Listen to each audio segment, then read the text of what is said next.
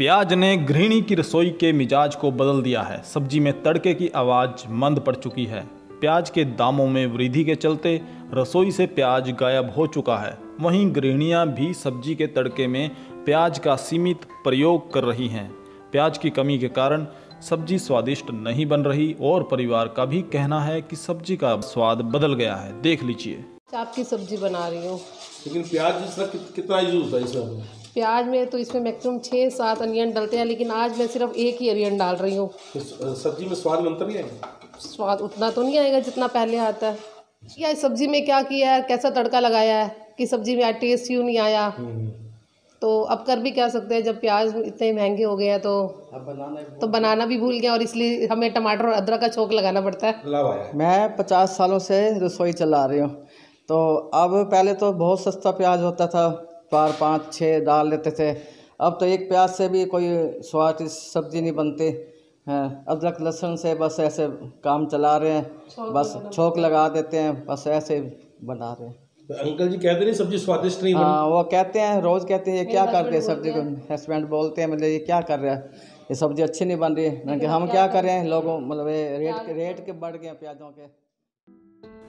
सब्ज़ी मंडी के हालात देखने से पता चला कि वहाँ क्रेता व विक्रेता ने बताया कि प्याज की कीमत 40 से 50 किलो है, लेकिन जैसे ही यह बाज़ार में जाता है तो 70 से 80 किलो बिक रहा है। प्याज में इतनी अधिक वृद्धि होने का कारण प्याज की मात्रा पीछे से कम आ रही है, क्योंकि नासिक में बारिश अधिक होने के कारण प्याज खराब आ रहा है। एक दड़ी प्याज का खर्चा था, वो महँगाई के होने के कारण किलो में ही काम चला रहा है। और महँगाई में गरीब आदमी पब्लिक ये इंडस्ट्री एरिया है यहाँ तकरीबन मजदूर आदमी है जिसकी पहुँच से ये बाहर है। कितने रुपए किलो प्याज लिया आपने? सत्तर रुपये किलो। अब पहले प्याज कितना डलता था सब्ज़ी में अब कितना डलता? पहले एक डलता था तो ये बाधा भी नहीं डलता।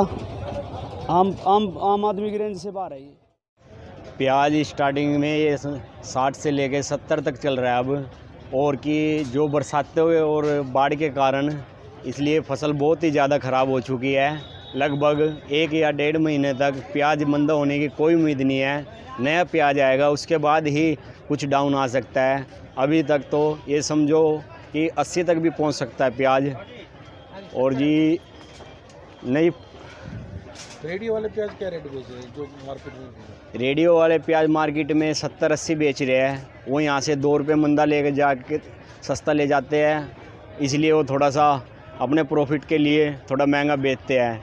और मंडी में यह है कि सत्तर रुपये किलो बढ़िया प्याज उन्होंने नासिक का नया प्याज है सत्तर रुपये किलो रेट है।